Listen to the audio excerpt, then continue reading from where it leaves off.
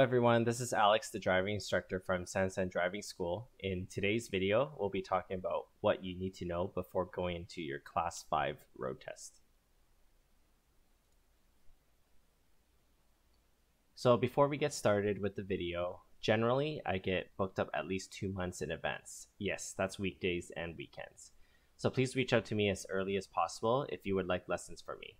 The best way to contact me is through text, and I will reply as soon as I can. I will always give priority bookings to students who are subscribers to this channel. Thank you.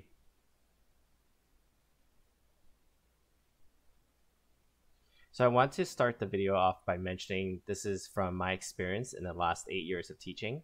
I focus mainly at the Vancouver Point Grey, Burnaby Lougheed, and Richmond Lansdowne locations. The following tips are from me teaching in these areas. What you can typically expect from your Class 5 driving test. Well, you'll be going through 1 to 2 school zones. You'll be going through 1 to 2 playground zones. So be sure to check out my other videos on how you deal with school and playground zones.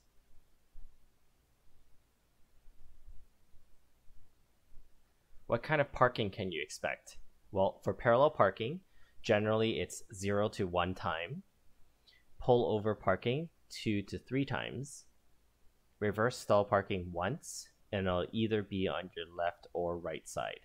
Check out the videos I made for these. Uh, links will be in the description below. For the pullover parking, again, it's two to three times. Uh, each time you'll be asked to do something different. So they can ask you to open your door, they can ask you to back up in a straight line, or they're just testing to see if you know it's uphill, or they're testing if you know it's downhill.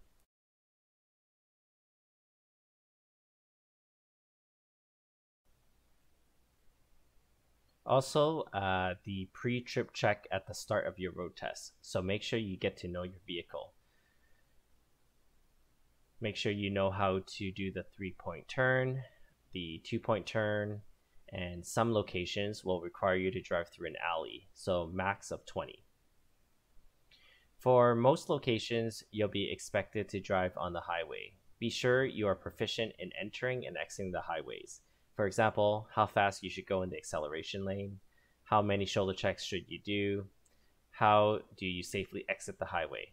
Don't worry, I did a video on this too. So make sure you go and watch that.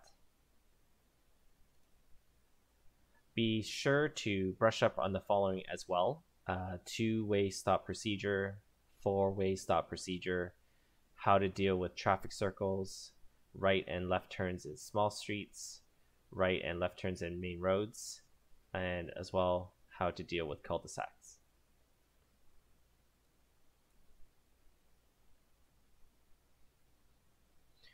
After going through all this, does any of this make you nervous? Don't worry, I've made videos covering all of that. Be sure to check them out. Links will be in the description below. Do yourself a favor and watch all of them. Okay, so if you've made it this far in the video, then I will give you my top three tips for students. Your sign awareness, pedestrian awareness, and road marking awareness. If people come back and they fail, it's usually because they're lacking in one of these three uh, topics. So make sure you're proficient in that. Okay, that's it for now. Please subscribe, like this video, and comment below, and let me know what you would like to see more from this channel. Thank you. Bye now.